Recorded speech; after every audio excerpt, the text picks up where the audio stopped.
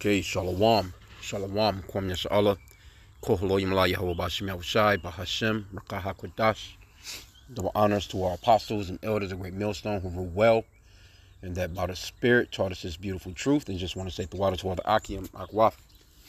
That's out here sincerely keeping the laws, the statutes, and commandments of Yahweh Bashim Yahushai to the best of their ability. This is Yachanan Nawaf just coming at you with another quick lesson. A little before camp lesson there. Um, okay, so what you see here, they well, you know, they kind of took a steal of a video of this guy, you know, getting on a bus and um stabbing the bus driver a couple of times, you know what I'm saying, because of, you know, an adulterous relationship, you know what I'm saying, with his wife. And this guy's um he's 57, but the guy that he um, stabbed and killed was this guy right here who's 43, Leonardo Sebastian Figueroa. and this other guy's name is, you know, they, this name is real popular over there. Um, Jesus, right? Jesus de Ojeda Calixto. Yeah, so he's 57. You know, he, he ended up jugging this guy up, younger guy, dealing with his woman, you know, and his, you know, people on the bus identified him, all that good stuff. So I'm not going to read through the story, but you know, the guy ended up getting caught. His wife ended up, you know, popping up at the jail, you know, trying to, yeah, anyway.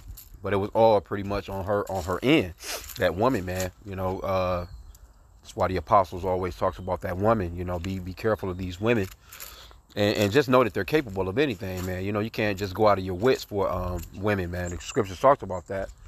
You know, so now this guy, he's gonna one guy's dead, of course, and this other guy's more than likely he's 57, man. He's gonna he's gonna die in, in, in jail more than likely, or he'll be there when the missiles come.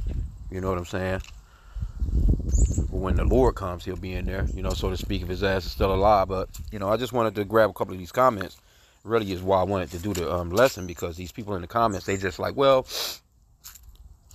he should have, you know, dealt with the woman. That's, you know, it was her fault. You know, it had nothing to do with the man.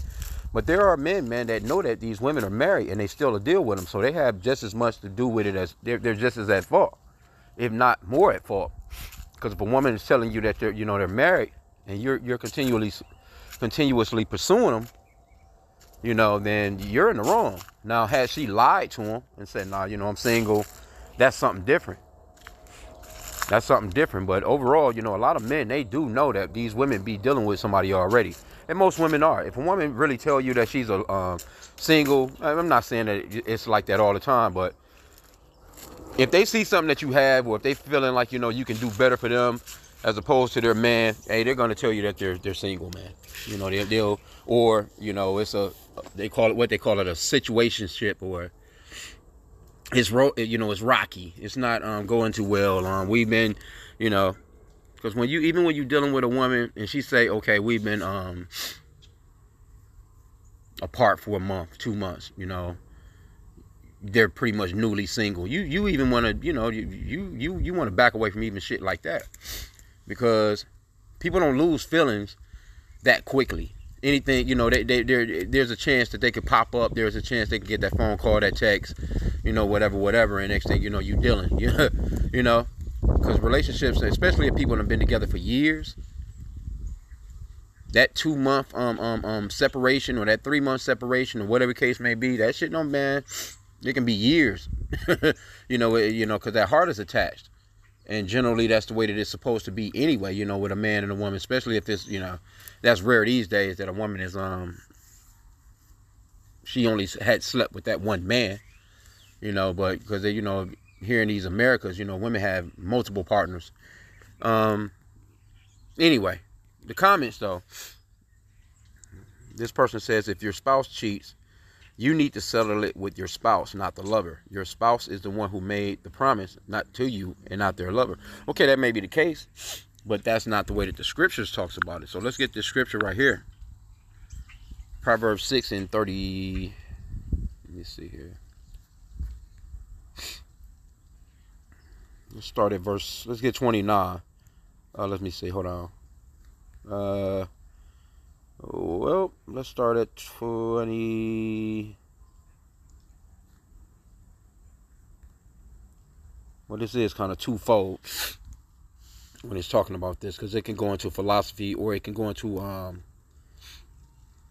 a physical regular woman on earth, you know. But Proverbs 6 and let's start at 24. To keep thee from the evil woman, from the flattery of the tongue of a strange woman. Lust not after her beauty in thine heart, neither let her take thee with thy with her eyelids. For by means of of for by means of a whorish woman, a man is brought to a piece of bread, and the adulteress will hunt for the precious life. Can a man take fire in his bosom, and his clothes not be burned? Can one go upon hot coals, and his feet not be burned? So he that goeth into his neighbor's wife, whosoever toucheth her, shall not be innocent. And this is from the Lord, you know. Now this could be, um, um, you know, adultery as far as um, spiritual adultery, you know, because, you know, us as Israelites, you so-called blacks, Hispanics, and Native Americans, the Lord is our husband, so to speak. You know what I'm saying? We, we belong to the Lord. So if we go into any other religions or any other um get to serving other gods and things of that nature, that's spiritual adultery. And the Lord is is a jealous power. That's the reason why He has dealt with us the way that He's dealt with us to this day. You know, that's the reason why we're in this captivity under the so-called white man, scattered throughout the four corners of the earth, all over the place because we committed that spiritual adultery. But now, this could also, it's twofold because it could go into um, physical adultery right here on this planet, right? It says, let's jump down to verse 32. It says, But whosoever committeth adultery with a woman lacketh understanding. He that doeth it destroyeth his own soul. See, so that guy that, you know, the bus driver, hey, he caught the business. He destroyed his own soul. Now, in the ancient days, they would have both been put to death, him and her, had had he known. Now, had he not known, if she just said, you know, you know, again, if she was fronted like she was single, that man wouldn't have been guilty of that crime. You know what I'm saying? But if he knew that she was married, then he would have been put to death along with her ass. But now these days, in this day and time, in Esau Edom's kingdom, the so-called white man's kingdom, where he has everything upside down and backwards as hell, you know, that woman, she gets to live on. And guess what? She's gonna go and find somebody else. This nigga going to jail. This other guy already, um, um, you know, dead. And, and, and if she's attractive enough, she's gonna get that box up to somebody else if she's not already got somebody on the side to get that box to already. So these dudes are doomed, you know, because of a wicked ass woman. When if the guy, if she done that, he should have just been like, "Hey, look, you got to pack your things and get the fuck out of this house. I'm not going anywhere. You got to go." and, and, move on with your life. You know, things hurt. You know, you you know you have um you know feelings for a person. You know, of course, but you know it's best to just nah go ahead and kick rocks, man. Get the fuck out of here. Go do what you're gonna do. Cause you're not worth going to jail for. You're not worth me um, um fucking my life up for. You know. But anyway, verse 33 it says, "A wound and dishonor shall he get, and his reproach shall not be wiped away. For jealousy is the rage of a man. This is the point that I wanted to get here. For jealousy is the rage of a man. Therefore, he will not spare in the day of, of vengeance.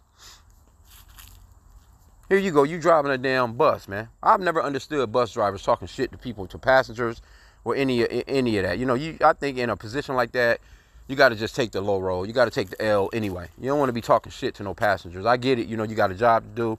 You explain to them what's going on. But you know, I've seen bus drivers that's just fucking ignorant as hell when it comes to the passengers. And here you go, you doing the same route every day. This guy know your route, or this woman knows your route. All they got to do is get on a couple of uh, stops back, or uh, you know, get on a couple stops up, or they know you're doing the same route. you got to open the damn door when they say, you know, when you stop at the stop, and, and, and some guy he jumps on, you know what I'm saying, and, and get the jug in your ass. There's plenty of that's done happen here in Detroit here, man. A lot of um um you know they pretty much you know I guess they're trying to put police. They got um little undercover police officers. Some in uniform though. They got you know. It's really only on the buses that's downtown. You know what I'm saying? Where white people come and enjoy their little you know baseball and football games and shit like that. They don't give a fuck about Jake in the city. So um but yeah they'll put um you know uniform officers on those buses to you know deter some of the crime that's going on because hey, people be on those buses wilding the fuck out, man. You dealing with all kinds of Negroes, you know, so to speak, man, uh, in, in these these cities, man. Anyway, though, verse thirty-five it says, "He will not regard any ransom, neither will he rest content though thou givest many gifts. So this man not trying to accept no money. Oh man, I got a million dollars. I give you, I give you this, or I give you that, bro. You don't have to do this to me. You know what? Nah, eh, dude, not trying to hear that. Dude, not trying to hear that. That's one thing about men when they got that jealousy streak. You can offer them the world, and they not accepting that shit. They want your life, goddamn it. That's overall what they want. But you know, just a quick little before camp lesson. I seen this, and I'm looking at these damn comments because most of these comments are saying the same old thing. This person says, "I would never call the person being cheated on jealous. That is a that is a pissed off situation. Affairs should never happen. This bus driver should have never been stabbed like that. You need to beat the bitch having the affair." because she is just as guilty as the person committing the crime. This person says that the affair happened because the husband was a bum. No, the, the affair happened because Esau Edom, the so-called white man, is running the earth, and he's the wicked. And he gives the woman that ability to get abroad. You know, he's the one that set it up where a woman can be out all kinds, all, all times of night doing what the fuck she want to do, and, and, she can call dial 911 if her husband says no, you can't go, or no. You know what I'm saying? Like he, he set all that up. Then you had these GoFundMe pages, and you know, the motherfuckers just letting go balloons and lighting candles and all this other shit for these hoes, you know, like you know, and and I have a, a GoFundMe page, raise all kinds of money, getting all kinds of sympathy. When she should have had her ass at home, but Esau Edom, like I said, the so-called white man, he he has made it to the point where a woman can leave her house, leave her man and her damn kids at the house, and go on a motherfucking trip for three months if she want to, and there's nothing he can do about it. And then once she comes back, if he tries to move on with his life and take the children, uh, the court is going to be all on her side. Well, why did you leave, man? Well, I needed a vacation. Okay, well, um, sir, she's going to have to have the kids back. you know, uh, you're going to have to let her back into the house, sir. But sir, I, but Honor, I, uh, you know, look at all these photos of her with this other man. Well, sir, that's not you. Still, you have to let her back in the home. That you know, this place is stupid as fuck, bro. It's backwards as hell. It's upside down, and it's because Esau Edom, the so-called white man, is running the planet. And this shit is rampant throughout the world now, because this is a, a, uh, uh, an American shit. But America has pushed their influence on everybody, man. This shit is all over the globe now. This guy's a damn disease. He's a cancerous disease. So a lot of these nations, they, they especially the Edomite nations, we already know these NATO nations, EU nations, anywhere where so-called white people rule, they're all fucked up anyway but they act as if they're the righteous, you know what I'm saying? But they're the most brutal people on the fucking planet, man. And they're not capable of running anything. Let's get um another one in Proverbs. Proverbs 22 and 9. No, 29 and 2, Salakia.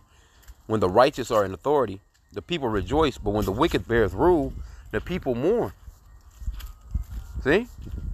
The people are mourning because this man is in rulership. Now, it, you actually have these, you know, these people that really think that they're, you know, they're happy and they're in a happy situation. They don't fucking know what happiness is really. The only real true time that people are gonna know what what it's like to be at peace, so to speak, is gonna be when the um the, you know, when the kingdom comes, man. You know, our our, our Lord comes and, and gets the Israelites out of the hands of our enemies. We're gonna know what what real true peace is like, because we're gonna put it on their asses. But even them, they're gonna be somewhat, you know, at ease of knowing, okay, well, shit, the way that the world was being ran before, that shit was some bullshit. These guys really know what they're doing. They really know how to run this place. you know? So, I mean, it is what it is, man. Uh, you can get one in the Apocrypha real quick. Let me see here. The, the Apocrypha, man, um, um, Ecclesiasticus chapter 25 and verse 20 and chapter 26 got a real beautiful layout, man, for these women.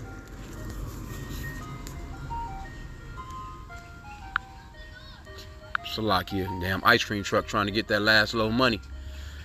Getting cold. It's getting cold out, buddy. Uh, let's see here, Salakia. Ecclesiasticus chapter 25.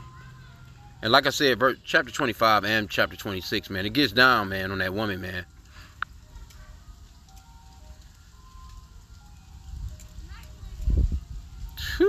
Verse 13. Ecclesiastes 25 and 13, give me any plague but the plague of the heart, and any wickedness but the wickedness of a woman.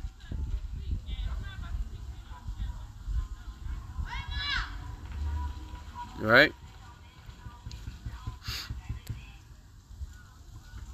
Let's go on. Let's see here. Uh, the wickedness, verse 17. Now, let me see. No, verse 16. Let's start there again. I had rather dwell with a lion and a dragon than to keep house with a wicked woman. The wickedness of a woman changes her face and darkeneth her countenance like, like sackcloth. Her husband shall sit among his neighbors, and when he heareth it, shall sigh bitterly. All wickedness is but little to the wickedness of a woman. Let the portion of a sinner fall upon her. As the climbing up a sandy way is to the feet of the aged, so is a wife full of words to a quiet man.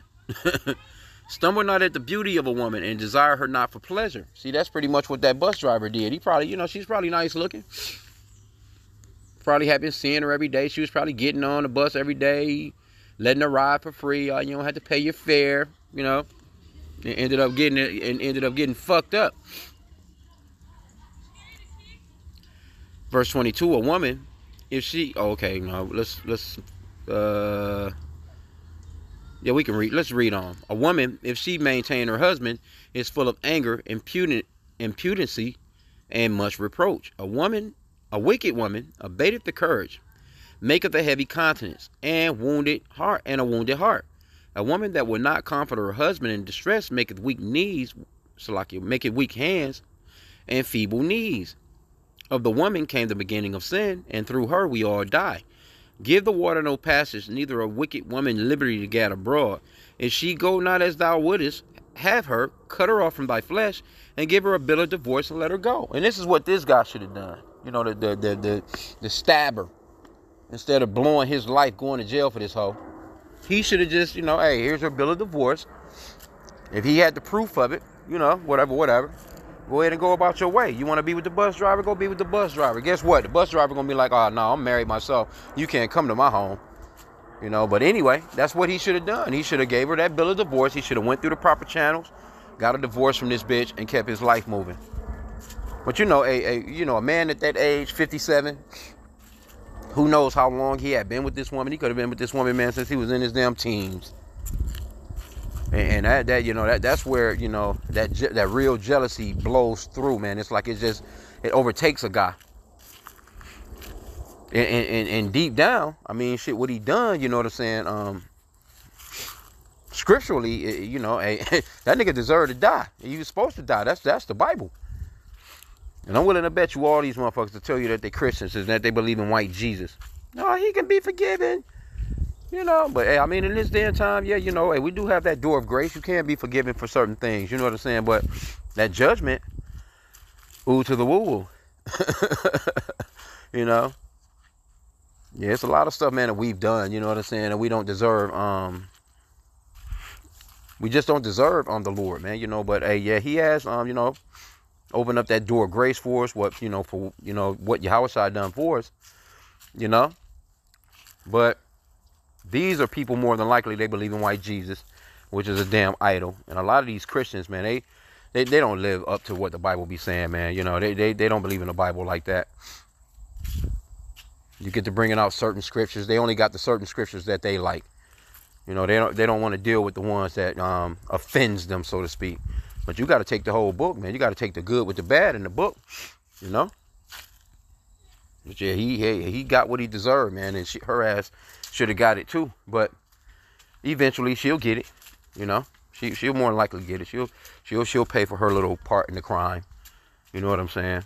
But anyway, yeah, just a quick little lesson. I wanted to just do that before I um, headed out to camp. Um, but hey, man, be careful with these women, man.